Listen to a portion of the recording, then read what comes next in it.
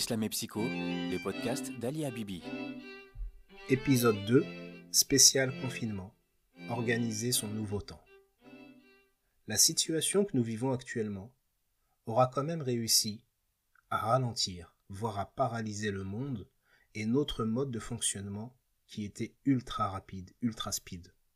Depuis des décennies, tout s'accélérait de manière inquiétante, avec des conséquences importantes moins ou plus de temps pour soi, pour sa foi, pour son couple, pour sa famille, pour ses enfants. Nous étions toujours amenés à courir, courir et encore courir après certaines choses pour soi-disant préserver des choses que nous perdions en courant justement, d'où le paradoxe. Nous courions après la richesse, après le travail, après certaines obligations, pour soi-disant protéger nos familles, les sécuriser, alors qu'au fond, on les privait de notre présence. Vous avez une phrase qui est dite par un acteur dans le film Le bon, la brute et le truand, le célèbre western, où justement le personnage qui joue le rôle de la brute, qui d'apparence dans le film n'est pas très futé, il dit une phrase très pertinente, très profonde et assez philosophique. Il dit, je cite, Si on travaille pour vivre, à quoi bon se tuer à la tâche? Si on travaille pour vivre, à quoi bon se tuer à la tâche? Cette phrase doit nous inviter justement à réfléchir sur le pourquoi nous faisons ce que nous faisons et de trouver un équilibre dans nos emplois du temps par rapport aux priorités qui sont les nôtres. Le confinement aura comme effet de tout ralentir et de nous imposer à faire face à ce que soit nous pouvions fuir ou alors que nous voulions soi-disant protéger et sécuriser et nos emplois du temps se sont vus complètement modifiés, ce qui peut vraiment chambouler en réalité. Nous allons nous arrêter très rapidement, brièvement, sur quelques conseils, quatre ou cinq conseils, afin de mieux gérer ce temps, qui nous appartient pas, justement, et qui a une si grande valeur. Le premier conseil que je vous propose est de lister les tâches que vous avez selon leur importance et leur priorité et de leur associer un code couleur. Donc vous listez toutes les tâches que vous avez à faire, les obligations, celles que vous aimeriez faire, celles qui seraient bien de faire, ainsi de suite, et vous les codifiez avec des couleurs. Donc les tâches importantes, très importantes, inévitables, une couleur précise, les obligations, une couleur précise, les loisirs, une autre couleur, les temps libres, une autre couleur, et ainsi de suite. Une fois que vous aurez fait ça, vous pouvez passer donc au deuxième conseil, qui est de placer justement toutes ces tâches dans un planning et de l'afficher et de le rendre accessible, de manière à ce que vous puissiez rapidement et très souvent voir ce planning, très rapidement voir la structure qu'il a, vous rappeler justement des différentes tâches qui sont les vôtres de manière à ne pas vous perdre, ne pas trop vous laisser aller, et de pouvoir voir justement qu'il y a différentes tâches à faire dans ce planning et que tout est organisé, sans que ce soit trop lourd. Le troisième conseil est bien évidemment de penser à mettre dans votre planning des choses qui vous sont agréables. Il est important de mettre dans ce planning des choses que vous désirez faire, des choses qui vous font plaisir, des moments de détente, des moments de loisir, des moments de repos, afin d'équilibrer votre planning et qu'il soit le plus épanouissant possible et le plus réaliste possible.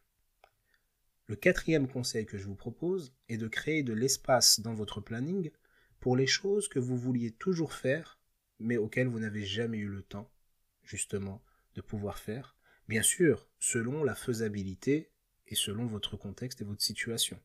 Mais il y a énormément de choses qu'on a désiré faire dans le passé, et le fait de courir après le temps, de courir après l'argent, de courir après le travail, de courir après certaines obligations, pouvait nous empêcher de pouvoir les faire. Aujourd'hui, dans ce confinement, il faut accepter, je pense, que nous n'avons pas la main sur certaines choses. Il faut lâcher prise sur euh, les choses que nous ne maîtrisons pas.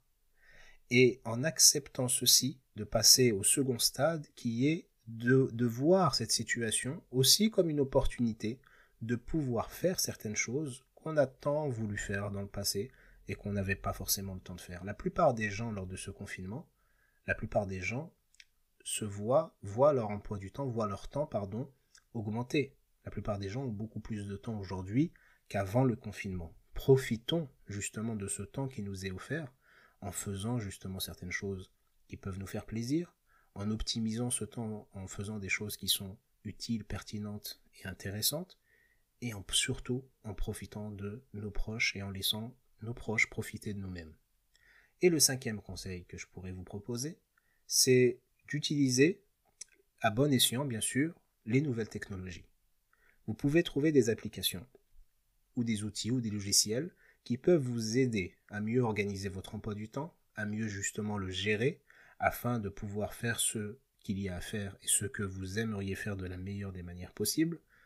Aussi pour éviter de vous laisser aller, parce que quand on a beaucoup de temps libre, ça peut être aussi assez dangereux, parce qu'on peut vite tomber dans l'oisiveté, on peut tomber dans le fait de se laisser aller, de perdre ce temps, de ne pas l'utiliser intelligemment, et aussi de subir certaines ruminations à cause du fait que nous n'occupons pas le temps de la meilleure manière possible. Donc utiliser certaines technologies, je pense notamment aux applications de minuteurs. Alors vous allez me dire qu'est-ce que les minuteurs viennent faire ici?